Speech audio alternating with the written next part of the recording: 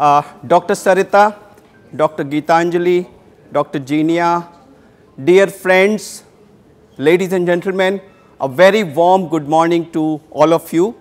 Not a pleasant morning, but still I would say a warm good morning and first and foremost my sincere and humble thanks to all of them and all of you and National Institute of Plant Genome Research, all the faculty, the administration and all of you here for this opportunity to me to come and share some very, if I may use the word, grotesque facts about something which impacts each and every one of you. The problem that I am going to talk about today is something which only requires one condition to affect that person.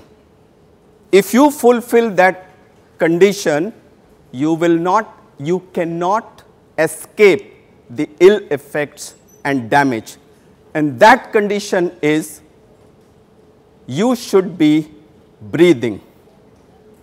So, anyone who breathes is affected by the problem that I am going to talk to you today. This is about air that we breathe and tons and tons of poison that we take inside our body in every breath that we take. So, welcome to the world of pollution. My talk will have three parts. In the first part, I will briefly describe some facts about air pollution and then the second and most grotesque part about the health ill effects and last but not the least, what we all can do to sort out this problem. We breathe 25,000 times every day and in the process we inhale about 10,000 liters of air every day. And this 25,000 figure is for an average adult. A child breathes twice the number of times and a newborn is about 3 times that number. So, this tells us the amount of air and along with air the poison which is going inside. When I was a student when we read composition of air, I was told there is nitrogen nearly 79 point some some some percent, oxygen about 20 and some inert gases that is what I remember of my childhood. But today when you read in the newspaper about the composition of air, you hear about particulate matter, you hear about CO2, SOx, NOx, carbon monoxide, volatile organic compounds, CFCs, ammonia, lead, mercury, ozone, these are the components of our air today. And when you look at the sources where they come from, they are present all around you from cooking, open waste burning, construction dust, vehicle exhaust, uh, brick kilns, various coal based power plants, other industrial plants and of course some natural courses various terms that you would be reading and hearing every day, I must clarify these to you. With one term called, when you look at pollutants in the air, you can classify them into two groups. One is the particulate matter and the other is the gaseous matter. When you look at particulate matter, it is called PM and it is divided into various subgroups based on the particle size. Earlier, we used to talk about PM10 that was the commonest particle discussed. Couple of years back it was realized that it is not 10, it is actually 2.5 which is more important and later on realization came that yes 2.5 is important but even more deadly, more dangerous is 1 and less than 1. Now how do we compare what is the size? A typical human hair is about 50 to 50 mic 70 micron. So PM 2.5 would be almost 1 20th the size of a human hair. You can imagine how small this particle is.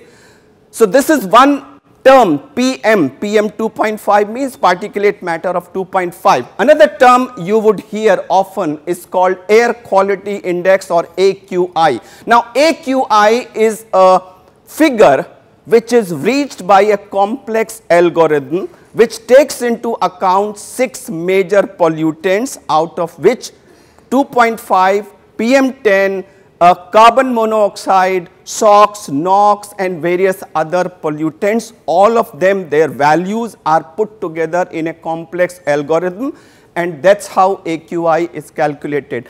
Typically, whichever is the highest pollutant at that point of time, usually it reflects the value of that. So, in Delhi when today PM 2.5 is the major problem, AQI and PM 2.5 are kind of running parallel to each other. So, with that brief introduction, so when we talk of PM 2.5, it's different. When we talk of AQI, it's a value, not the component of pollution, but PM 2.5 is the major contributor to calculation of AQI.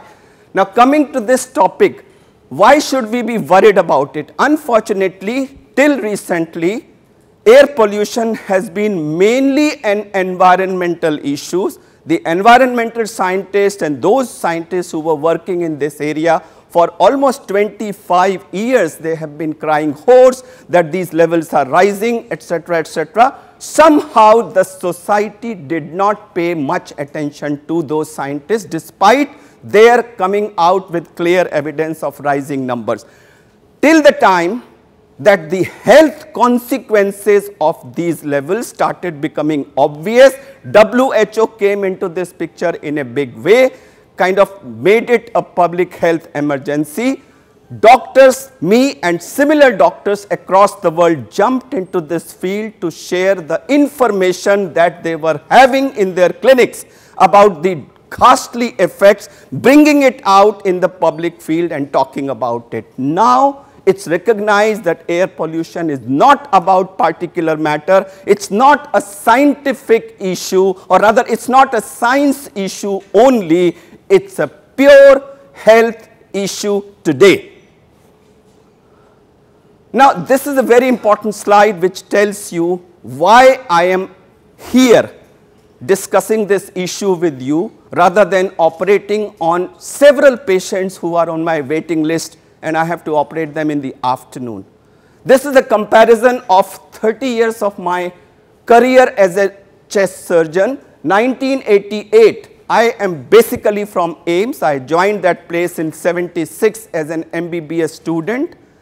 Spent 35 continuous years from 76 to 2012 finally became professor of surgery and in 2012 I took VRS from there and set up Center for Chest Surgery at Ganga Ram Hospital and also side by side started Lung Care Foundation. So when I talk to you, I don't read Google and come to you. I look at 30 years of my career and share that experience with you. And here it is 1988 when I started my career at AIIMS and 2018 last year's analysis data at Ganga Ram.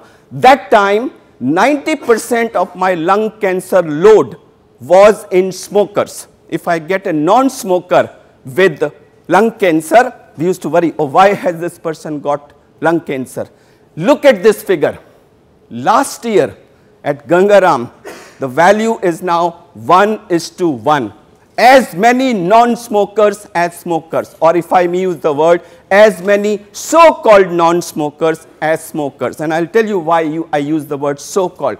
Average age 50 to 60, now it's 40s, many patients about 10% in 30s and last just 3 months back I saw 30s barrier also being broken. First patient 28 year old. Many of you might have read in the newspapers or heard on TV a 28 year old non-smoker girl from a non-smoking family having lung cancer. At that time we had hardly any women. Now 40 percent of the patients are non-smoking women and I will show you a picture which will explain to you in detail what I am saying. So this is the case which actually shook the world. It was covered by the entire international media. 28 year old lady, unmarried, non-smoker.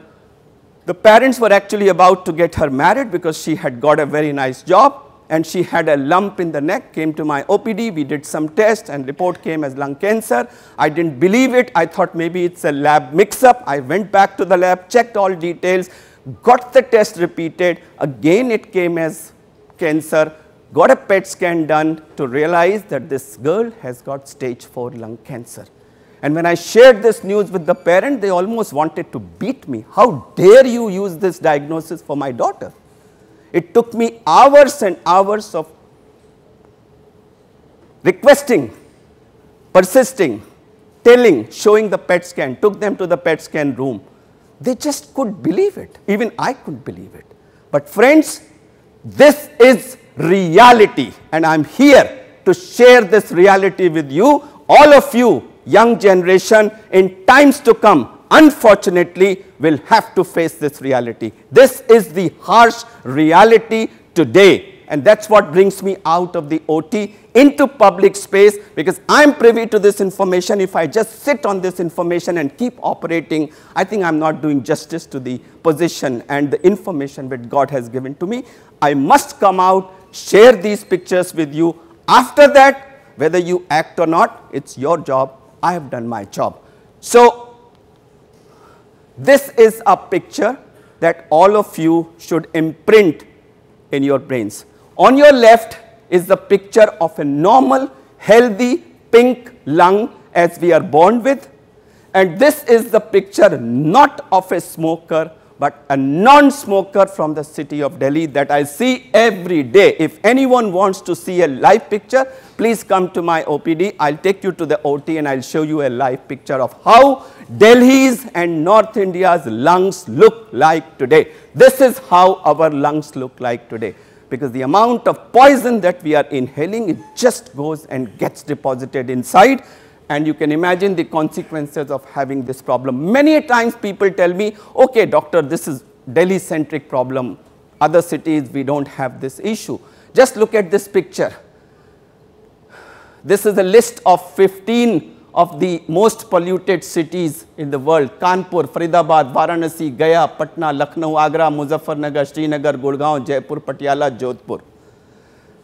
The AQI in the last 10 days has been higher in many of the cities in UP, Haryana, Punjab than in Delhi. So, it is not a Delhi centric problem, it is a problem in entire North India, very serious today and it is not even entire North India.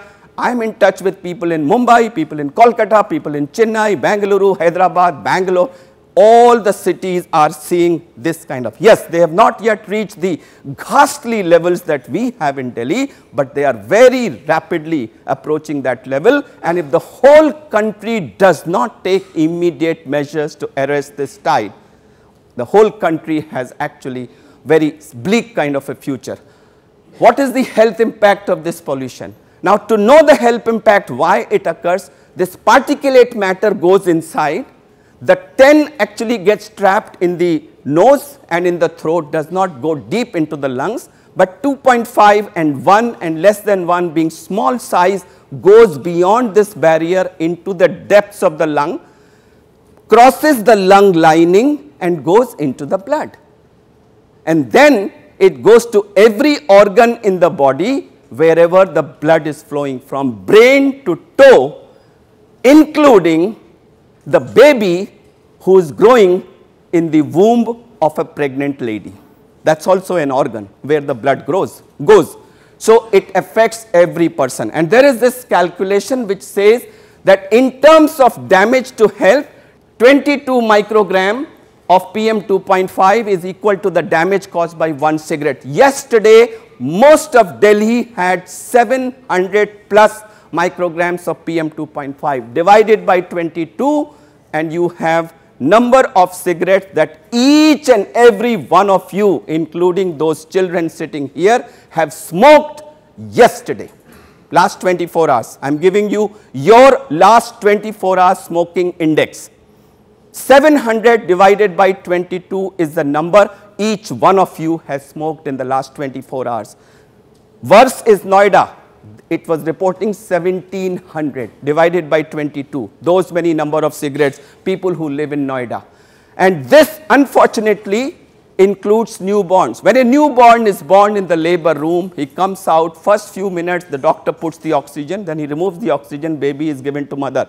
Which air does that baby breathe? Is it some imported different air? No.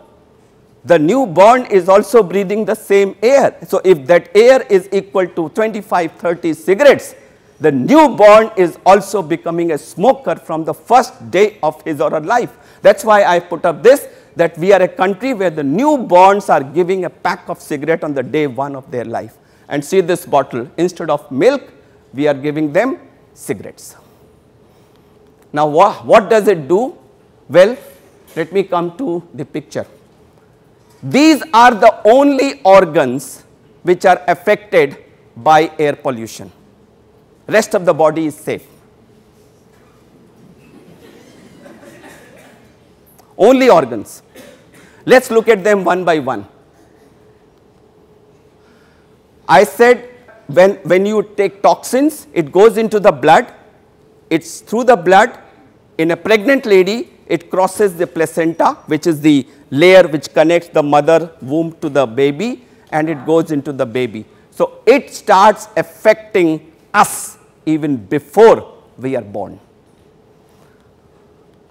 And whatever I am telling, it's all scientific fact from international reputed peer reviewed journals. None of these things which I am going to quote here, I have evidences and I have articles for all of these. This is not something I have picked up from some newspaper. All these things are from reputed, peer reviewed, indexed international journals. Which age group? if you breathe, you are under the attack of pollution. Everybody is affected, but the worst affected are the unborn babies, the children and the elderly. Why the children? Because they have small airways, their immunity is less and their organs are developing. So, when you hit a developing body with poison, the development gets affected adversely.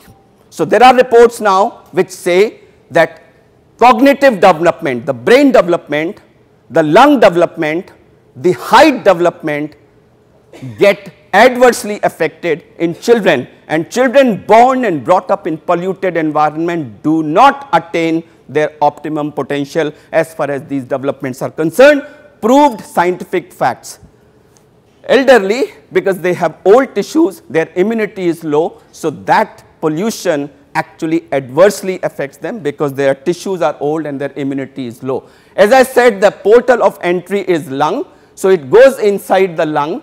This is the kind of pink lung that we are born with, but this is how it becomes when we are exposed to pollution. When we add cigarette also this is how it becomes. So, these are the three choices that we have. This is what God gives us, this is what we create of it. I see it every day. What does it lead to? Let us start from children. It leads to high incidence of pneumonia. Now, I am just rushing through some of these studies. I not go into detail. These are all scientific facts. If anyone is interested, you can talk to me later. I will forward these studies to you. I will just read the summary. So, pneumonia deaths and prevalence in children in polluted cities is several times high. In fact, in the under 5 population, air pollution and breathing polluted air, whether it is ambient air or household air, as is the problem in villages, is the commonest cause of pneumonia deaths in children in polluted countries. Large number of children are affected. Children are more vulnerable to the harmful effects of air pollution. So, this gentleman from Canada has done huge amount of work in children across the world, in children as far as their lung function. Conclusion, Exposure to air pollution during early childhood leads to suboptimal development of lung function. In villages, in cities it is the ambient air, in villages this is the condition. We still have this biomass burning, open chulha cooking is the commonest mode even today and all the smoke it has particulate matter in the range of 15 to 20,000 microgram per meter cube and the children who sit next to it inhale a huge amount. No wonder they die of pneumonia in large numbers. So, these are the various problems that you have allergy, asthma, COPD, lung disease, emphysema, higher incidence of tuberculosis, pneumonia, reduced lung capacity in children and the most dreaded lung cancer which I am seeing in increasing numbers, younger and younger age, more in women, more and more in so-called non-smokers and the age is getting lower, lower and lower. And at lower age, cancers grow much faster, you would know that more than I know and therefore, many of these patients present in stage 4. Cardiovascular system, when the toxins go into the blood, they affect the blood vessels and the heart. So, we have premature hypertension Lot of studies in school children are now reporting hypertension in children. Now, this is the cause. There are arrhythmias and most important the incidence of heart attack in adults is 5 to 10 times higher in people who live in polluted cities as compared to non-polluted cities. These are all detailed studies, but they have concluded that you have premature hypertension in children and you have higher incidence of heart attacks in people who are exposed to pollution. This is a scientific fact. Similarly, in brain it leads to higher incidence of aging in elderly. It leads to 5 to 10 times higher incidence of brain attack which is called as paralytic attack. But those are not as disturbing as the first line in children and there are studies from China where they have reported cognitive development getting affected in children because of deposition of particulate matter in the brain and in the layers around the brain. A lot of uh, uh, uh, this has been attributed to lead. Let me clarify that this unleaded petrol that we use which is sold as unleaded is not unleaded, it is only low in lead. Earlier there was a higher percentage of lead, now it has been reduced, it is still not unleaded. And there are numerous studies which have shown that it accelerates aging in children, it impacts cognitive development adversely in children, it affects the aging in elderly. And finally, now look at this, if China were to reduce levels of PM10 to less than 50, the cognitive gains would be equivalent to that of an extra year of education for the entire population. You can imagine how much impact it is having on the cognitive development. The latest study now, we are also seeing as doctors increase in the diabetes in the society, all ages and children also. And now there is evidence emerging, this is also because of deposition of particulate matter in the pancreas.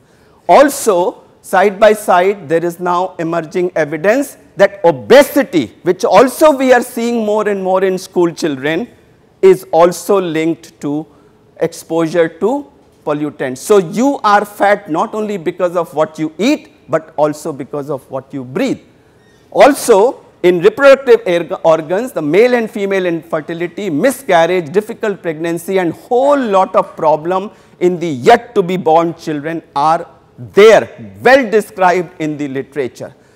Of course, we all know just last few days each one of us is, has this problem of eyes burning, nose feeling foreign body sensation, throat being choked, skin problems, skin is coarse, itching, coarse dry hair, these are all well known problems. So, starting from infections, asthma, COPD, lung cancer in the lungs, effect on the growing fetus, premature hypertension and heart disease in the heart, stroke and decreased cognitive development in the brain, obesity, diabetes, cognition development, depression, earlier, you name a disease and it's there linked to pollution. Does it shorten our life? Yes, there are enough studies which say that actually air pollution is the largest killer today. People have looked at the figures due to malaria, HIV, AIDS, TB, accidents, everything the number of deaths because of pollution is much higher. The figures may vary, somewhere you will read 7 million, 6.5 million, but the fact is that millions of people are dying and there are enough studies to say that whenever there is a spike in PM 2.5 as has happened in the last 10 days, there is an immediate increase in mortality in the society in the ensuing 4 to 6 weeks. This is again a proved fact. There are studies from Harvard School of Public Health which have testified to this effect. What is the magnitude? This is a very important slide because till now we have only been talking of death as a measure to measure how much is the impact. But death friends is the apex of the pyramid. Here is the normal population. When you get affected, like yesterday, many channels asked me, doctor, the teams, cricket teams are playing, this was, I had calls at midnight, the cricket match is over, none of the players had any problem on the field. I said, these are young men, these are healthy men, these are men who exercise hours and hours every day. So they have so much of reserve capacity that you can't expect them to, you know, drop unconscious at one time. But the huge amount of exposure that they had while running on the field yesterday is going to show its impact in years to come. Each one of them has suffered damage and will face the consequences. So, when we are here, when we get affected, first we have lung function decrement. But God has given us so much of extra capacity, despite decrement, we can continue to do our day to day activity. Further attack, then we start having some symptoms. Everybody is coughing, everybody is complaining of sore throat. So we come to this category. Then we move to a category where we need to start visiting doctor. More and more visits, finally we start visiting emergency and at the apex is the death, not in the beginning. So, it is a public health emergency as far as our country is concerned. Many people have this myth that we are safe from the effects of pollution if we stay indoors. Friends, indoor air only comes from outside. So, if you have outside AQI 700, maybe your indoor AQI may be 600, but it can't be 100. So, whether you are indoor or not, it does not matter lot of people say, oh, we are inside the cars, we will close the windows, then we are safe. No, the air inside the car is only coming from outside. So, whether you close the windows or not, it does not really matter. So, this is about the car. Now, a very hot topic. Lot of people are asking this question, sir, should we install this or not? Now, let me explain to you, I do not know how many of you are aware how an air purifier works. Air purifier is a mechanical device it works just like an air conditioning device. What does air conditioner do? Whether it is central AC or a window AC, it sucks in air from the room, it makes it pass through a cooling coil and sends it back to the room. So, it is recirculating the same air by sucking in, passing it through a cooling coil and sending it back to the room. And when we use AC, we have closed all the doors, so they are not open. Same is the case with air purifier. You have filters, mechanical filters and some high end devices have some other technologies also, precipitator etc. But basic heart of an air purifier is a mechanical filter. You have a, a pump, a, a fan which sucks in air, it passes through that filter and it comes out through the other end. So, first thing that you need is that the air handling capacity has to be equal matching the size of the room. If you get a standard bedroom size air purifier and put it in the one corner here for this hall, it will be no good. It won't work. It's just like putting a one ton AC window here and not the central AC. It will have no effect. That's number one. Number two, if you open the doors and windows and let the air come out, just as the AC will not work, same way the air purifier also will not work. Thirdly, when you have this air passing through the filter, the particulate matter gets trapped there. So, the filter gets choked. It needs to be cleaned and later on once it is clogged, it needs to be changed, which costs money, which is something the companies will never tell you. And just like in printers, the printers are cheap, but the cartridge is expensive. Same way in the air purifier, the air purifier machine is cheap. You go to replace the filter, it may cost you as much as the cost of the original machine, a lot of people tend to stay away from that. And when you have an air purifier with a clogged filter, it is actually not a purifier, it is a dirtifier. Because your air is passing through a dirty, dirty, dirty filter. This is not the end. Lastly, if you go out, you cannot carry, a, when I am here, can I carry my air purifier with me? No. So, it only works as long as you are inside a room. Thirdly, more important, when you have AQI of 700 outside, it cannot bring it to WHO levels or healthy levels. It only reduces it to a certain extent. So, if you summarize, it helps some people for some time as long as you are in the room to some extent provided the conditions are fulfilled at a heavy cost. So, it is a very poor private temporary partial solution to what is essentially a public problem affecting the whole country. Can you imagine the whole country's air being covered by an air purifying system? No, it cannot be a solution. You cannot stay, more importantly, lot of times I get this request about whether air purifiers should be used in schools. There are studies where people have put air purifier in a classroom. For example, if we put an air purifier in this room, enough size and keep the windows closed, sit here for 4 hours, most of you will start feeling sleepy. You know why?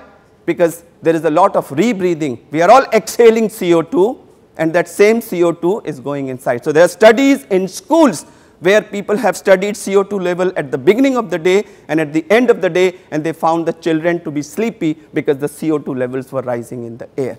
So, it is not a solution at all. Maybe you might ask, okay, would I recommend in any situation? Yes, a very, this morning I got a call from one of my colleagues that I have my 90 year old mother who has just recovered from pneumonia. What do I do to prevent her from having this problem? Now, this 90 year lady is going to be mostly bedridden. She is anyway in the bedroom. I said, fine. For her, it's vital not to inhale this 2.5, maybe put an air purifier because she is anyway going to be in bed. She's not coming out. These specific situations, exceptions. Otherwise, if you are looking at air purifier as a solution, it's not. Big no. Face mask. When you put cloth mask, ordinary mask, surgical mask that we use in the OD, OT, it's no good. It cannot prevent any of the particulate matter. What does help is a specific mask called N95. This is not a trade name, it's a specification where there are multiple layers inside the mask and the pore size is so small that nearly 95 percent of the particulate matter gets, affect, gets arrested. However, there are a lot of caveats there. First of all, it has to fit snugly around nose and mask. You must have seen a video yesterday. Our Honorable Chief Minister distributed 45 lakh masks in various schools. I have the video of him showing this, uh, putting it on a child the size of the mask was of an adult and it was a small child. So, the mask size was almost covering the whole face from forehead to neck. It was just covering the face. Now, when you do this, you can have a very nice photo opportunity, but friends, it does not help that child. It's a cheating with that child and the child's family. Yes, so, it has to cover the nose and mask, it has to come snugly fitting so that 100 percent of the air you breathe goes through the mask and not around the mask. Because if you have air going around the mask, again no good. When you do that, the small pore size also puts some resistance to the flow of air. So, when you inhale, you have to put little extra effort. When you exhale, little extra effort. Secondly, all the air does not go out in every breath. So, when you inhale the next breath, some of the exhaled air which is there inside the mask goes in. So, there is some amount of rebreathing this takes place. I have applied this, I have tried using it. 15 minutes or more if you use it, you start getting a choking sensation and then you put it on the, you take it away and you put it in front of the neck, again no good. So, if you ask me that well I have a sick mother and I am passing through a very polluted area and I am an asthmatic for a short period, temporary protection, yes, provided it's N95, it's fitting snugly, it's a new mask, it should not be wet, it should not be torn and put it in covering the nose and mouth, it will help you.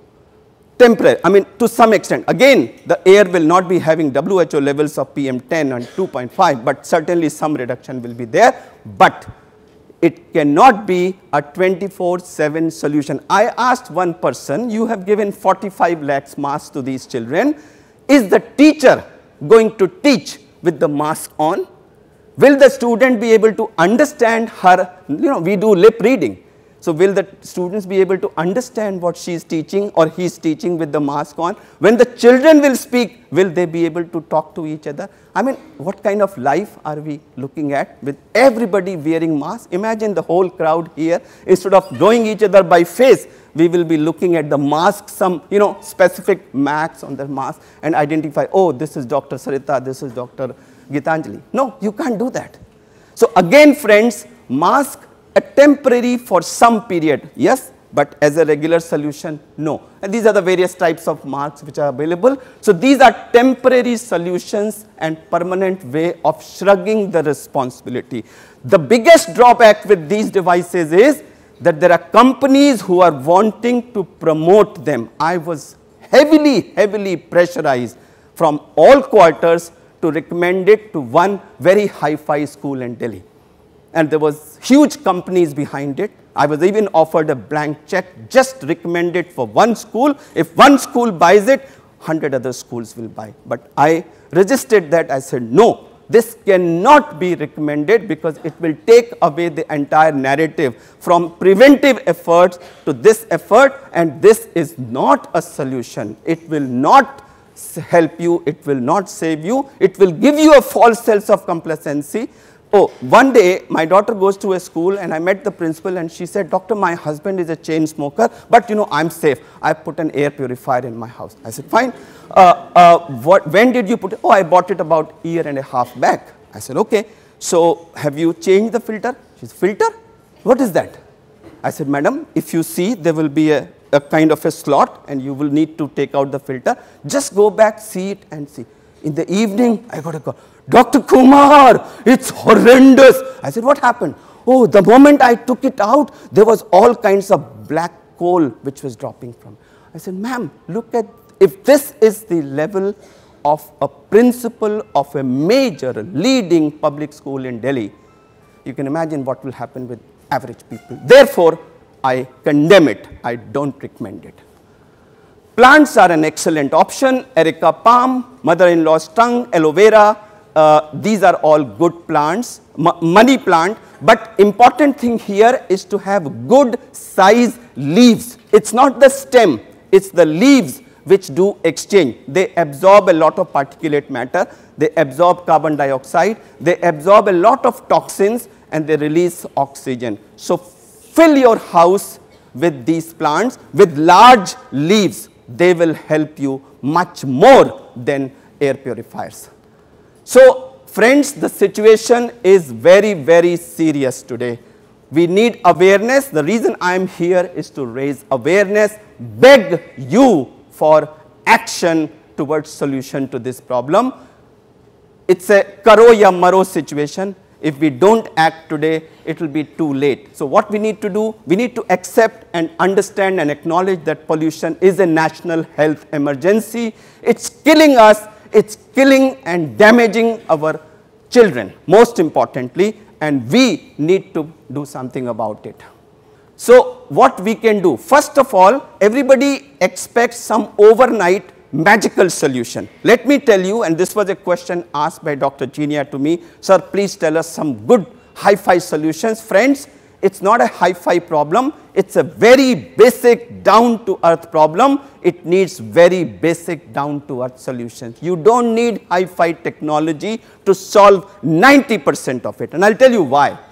First of all, remove, reduce air pollution, reduce your exposure. So there is often talk about progress versus pollution. Oh sir, this is part of progress. If we have to build a flyover, we have to cut the trees. Friends, if we progress the way we are progressing today, that you cut 20,000 tree in the lungs of Mumbai to house the shed for the metro, you are inviting trouble. There will be progress, sure, you will live beautiful houses, but 10 years down the line, your children living in those houses will not be able to come out of the house without a oxygen cylinder, not a mask, oxygen cylinder, the kind of things which divers use, that kind of a thing. Or you can take actions today and there may be a situation 10 years later where children will be playing in parks which they are not able to do today. So, a lot of people say, well, it's a government's job. What can we do? It's for the government to act. Friends, it's not the government who's a polluter. each one of us is a polluter. So first of all, be clear that there is no magical overnight solution, number one. Number two, government alone if you keep expecting and you say, no, it's not my job, it's government's job. I have given them vote, I have put them there. And if they don't act, who gets killed? Not them, you. So you have to act. This is a very simple slide I have made to explain to people small, small steps that you can take. You know what? I was talking to Dr. Jinia and I said very simple solution. A major part of the particulate matter in Delhi, you know where it comes from? Any guesses, Dr. Jinia? major contribution to particulate matter in Delhi. There are lots of sources, just name one. Uh, it's not really construction, it's the road dust. You know what our civil agencies do? They will dig and then they will leave it kacha. It's happening. You go to Vasant Kunj, you see, even near my house, I'm in Safdarjung enclave, main road has been dug up and it's not been metalled and thousands of cars are passing by and tons and tons of dust is rising from there and it's getting in the environment. Every morning this happens. The jhadu which is put across the country every morning, this puts tons of dust. First thing and the lowest hanging fruit is if we can reach out to our civic agencies and have this system, any area which is dug up should be immediately metalled. We should try to reduce the bald kacha patches to the minimum and get road dust going into the atmosphere to near zero. It's a very, I was telling you, I'll give you a very down to earth simple solution. But this is the solution. If you drive from Delhi to Jaipur, you drive on any highway, there are at least 3 4 feet of kacha on the side. You drive to an, any highway in Europe, USA or any other Japan, any other development, you will not find a single kacha patch by the side of any highway. It will be carpeted, it will have grass. We have these kacha patches and tons of dust rises. And you know these particles can travel thousands of kilometers. They remain suspended in air. Whatever rises here can tomorrow reach Mumbai. So they travel. So this amount of dust is something all of us are contributing. So I have put them as two dhus. One is a dhua and other is dhul. So any dhua, any smoke, be it from industry, waste burning, cars, crackers, any source, if you can do little bit to reduce the smoke. For example, if you are using kapoor, agarbatti, dhoop tel ka every morning, if you measure, I have done it in my house, PM 2.5, say it's 100 before I light a agarbatti and I light an agarbatti or a dhoop batti, it jumps to 300. Large amount of particulate matter. Imagine millions of such small, small actions. Small, small garbage burning taking place in every street.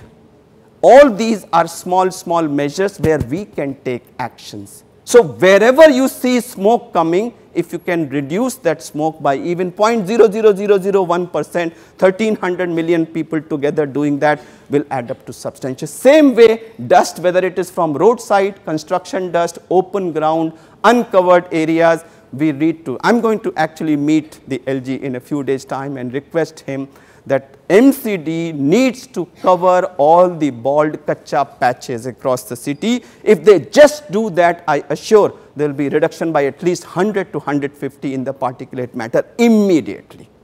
Immediately. It's a very simple, lowest hanging fruit. We are going for high-tech solution, nanotechnology on. First, let's start with these no technology solutions before we go there. So these are some of the solutions, but I have summarized them in those solutions. So lastly, what have we done and what would I request this august audience for in the next few minutes?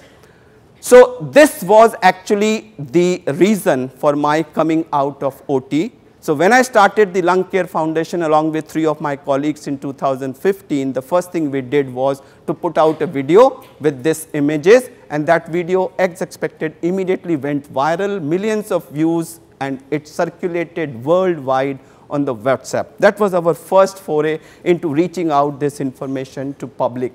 Then we thought children are the most potent agents of change. So, we reached out to MCD and we started going to MCD schools and I am happy to share with you that in last 3 years we have reached out to more than 20,000 children across various sectors of school from municipal corporation schools to DPS, modern school etc., etc.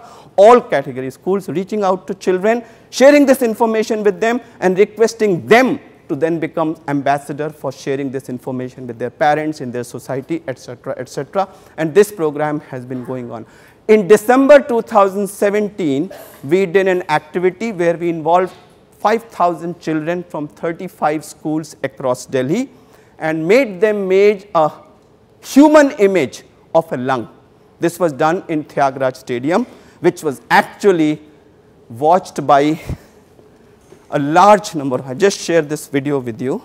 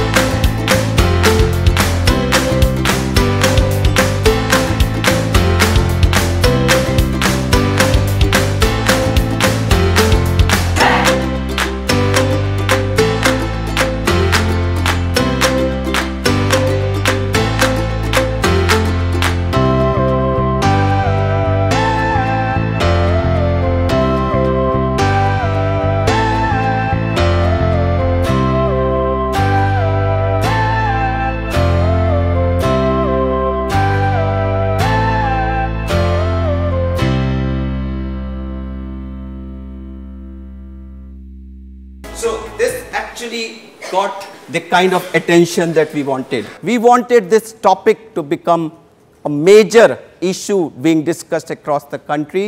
So, it was webcast live, so 100,000 plus face view views. It actually created international ripple to the extent that we got requests from various other countries for you know sharing with them how we did all this. Now, consequent to that, we thought let it not be a one time engagement, we reached out to these schools and we said, let's start what we called Breathe Easy Stay Tough Club.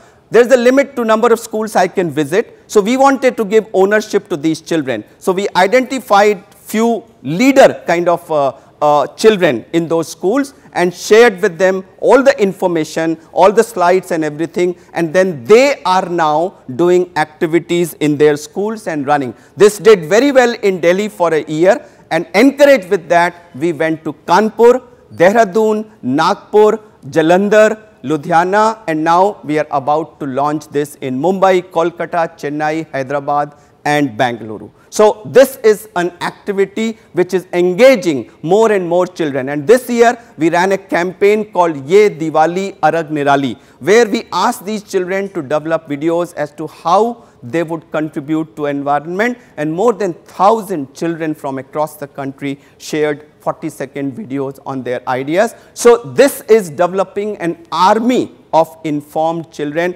They are the citizens of tomorrow. So, if we catch them today and kind of indoctrinate them or baptize them against this problem, I think they will be more responsible citizens tomorrow than many of the adults are today, where some people even think of doing these activities today. So, this has been going on very well. Another problem which is a serious issue and which will become a major issue in next one month with the kind of exposure our children have had uh, to the levels is asthmatic. There are studies that nearly 20 percent of the children today have asthmatic tendencies. Children spend 6 hours in the school and they have all possibility of developing an acute attack in the children. And oftentimes if a child has an attack in the school, all that the teachers do is to call the parents and say, aapka bacha bimar hai, jaldi aa. And parents will say, okay, we are coming, we are coming and they wait.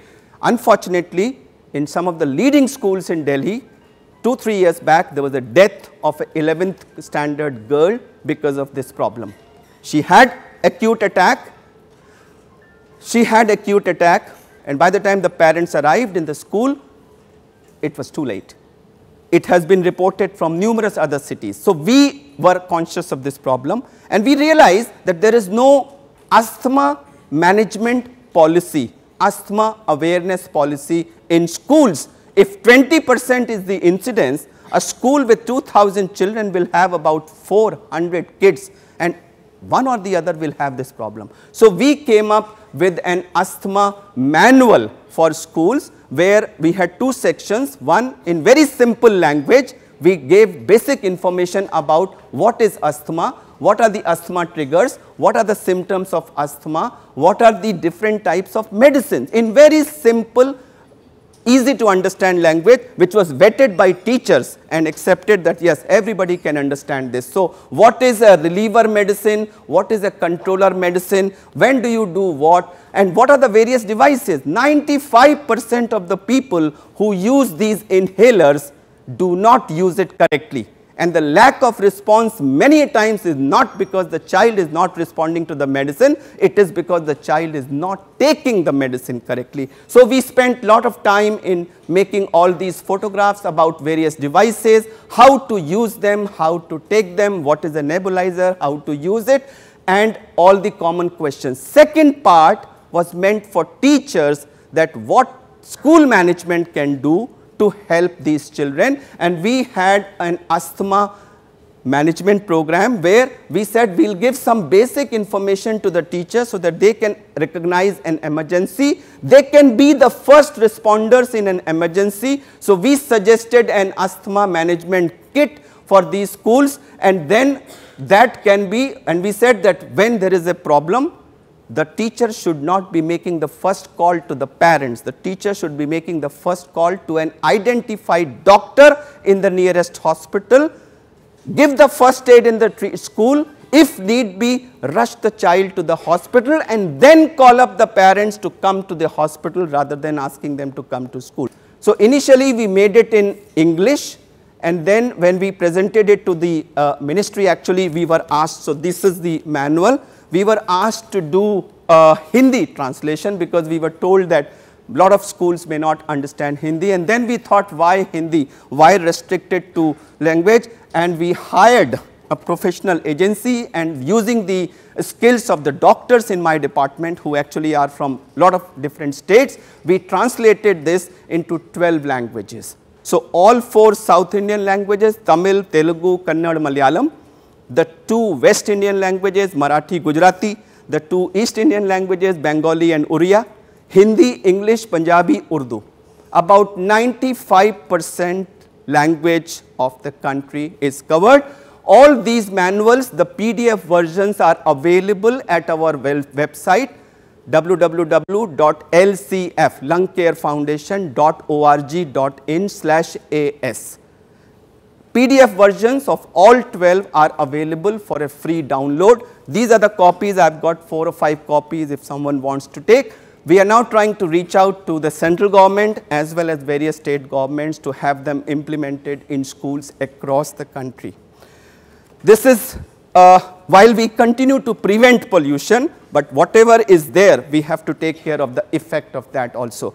Another experiment we did last year, whatever I am seeing in the OT, I wanted to show it pictorially to people. So, we had this replica of lung installed in Ganga Ram hospital. It is made of the same material that air purifiers have, HEPA filter and it is the shape of the lung and behind this we put a exhaust fan. So, the air was passing just the way air passes through our lungs. On the day 1 when we installed it, it was white and 6 days of breathing Delhi's air in Ganga Ram hospital campus, this is what happened. This was done in November last year. And I am not happy to inform that same process is happening inside us as well. Only thing is this we can see what is happening inside only I see every day. So, we started last few slides we started a group I thought that doctors must play a more active role in this field. So, we started a group called Doctors for Clean Air where we got a large number of passionate doctors who wanted to work in this field from across the country. We had a one day training program. We had about 12 leading medical associations which represent over 1.5 lakh doctors across the country come and commit that we will devote time and reach out to public and work in this field of air pollution. So, we will create awareness amongst general public, we will awaken them for need for faster action and we will also reach out to policy makers and have some commitments from them. This now is a nationwide network and we are trying to reach out to state governments for this asthma manual where in every district we are trying to connect our doctors for clean air with the school system so that they become the resource persons and this knowledge percolates there. And also these doctors are now requested to go out and give talks to people in those districts and cities just the way I am giving talk to you. The whole aim is that I feel that the fact that air pollution is not like any other problem. We have problem of population, corruption, A, B, C, D, E, F, G. All those problems can have committees set up, various legislations brought in. There is time to manage them. But air pollution is a different issue. When you have poisoned food and I tell you that your food is poisoned, you will not eat that food you can survive without food for 21 days. If the water which is given to you, I inform you this water has poison, you will not drink it and you can survive without water for 5 to 7 days. But if the air you are breathing has poison and I tell you that your air has poison, you cannot stop breathing. Try stopping breathing you won't be able to do it for more than 60 seconds, I bet. And after that, you will breathe whether it is poison or not poison. Ladies and gentlemen, if we could stop breathing to avoid poison, more than a million people in the city of Bhopal would have stopped breathing, ran away from Bhopal and then started breathing. They couldn't do that and they died. Unfortunately, same process is happening in all of us in a slow manner. The sad part is unlike dengue fever which kills 100 people in 3 days grabbing headlines and suddenly everybody wakes up, this is a silent killer, slow killer and kills over a period of time. By the time its impact is there, many years and many decades have passed. And therefore, it does not create the kind of emergency which is created by those things. And that's exactly the gap that me and my team in Doctors for Clean Air under Lung Care Foundation is trying to do to fill that gap, that void and share with people that friends, it's a public health emergency today. If we don't wake up and demand clean air as a fundamental right, tomorrow may be too late. And I'll conclude by saying that alone we all can do so little, but together we can do so much. Thank you very much.